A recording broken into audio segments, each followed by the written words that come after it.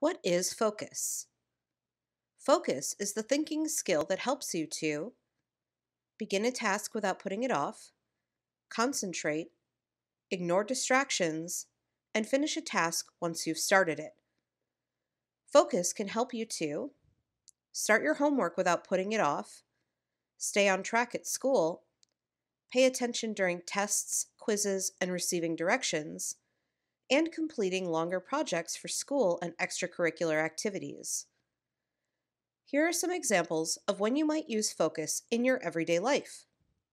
When you are practicing a new song on an instrument, when you are learning a new skill in sports, when your teacher is giving the class instructions for a project, when you are watching an educational video in class, when you concentrate even when it's noisy around you, when you pick a spot to do your homework that is quiet, when you turn off the TV before you begin your homework, and when you can come back to a task and finish it after being interrupted.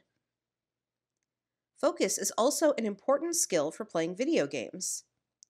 In the game Mario Kart 8 Ultimate, players need to keep their eyes on several different factors while they race, such as upcoming turns and the location of helpful items. They must also be aware of where other players are on the track but not be distracted by them. Failing to focus on driving could lead to a missed turn, a run in with a banana peel, or being passed by several other players. It only takes one bad move in the game to send the player to the back of the line, so focusing is essential to winning the race every time. Focusing is also important in games where multiple projects can occur at the same time. In the game Stardew Valley, the player has a limited number of hours each day to choose between farming, foraging, exploring, building relationships, fishing, and dungeon crawling. Because all of these activities have different rewards, the player must focus on the task they have chosen and not be distracted by all the other possibilities the game has to offer. If a player does not use their focusing skills, they may find that they have spent too much time doing small parts of many projects instead of completing one project on time. Blocking out distractions is another way to use focusing in video games.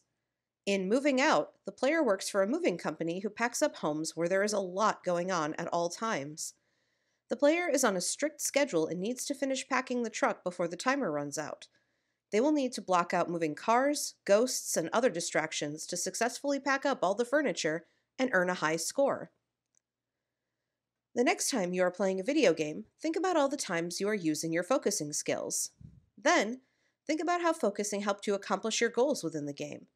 Try and use these skills the next time you are trying to focus in school or complete a chore as soon as you're asked to do it. You just may find that by practicing your focusing skills in games, you are getting better at this skill in real life too.